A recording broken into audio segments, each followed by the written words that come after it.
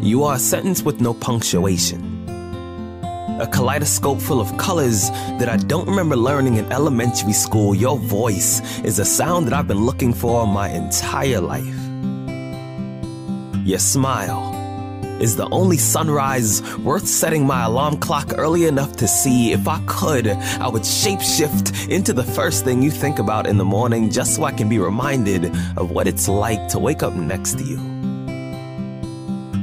I love you in a language that I don't fully understand in words that I haven't found enough courage to forklift out of my chest. I hear that karma is vengeful and also a light sleeper, so I've chosen to love you like this.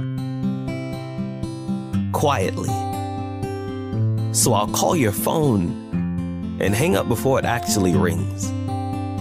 I'll write you letters that you will never read. And when I see you in public, I'll stick my hand inside of a bag full of things that I haven't done since you left me and pull out a smile. I'll say something like, Hello. It's nice to see you. And I'll keep walking.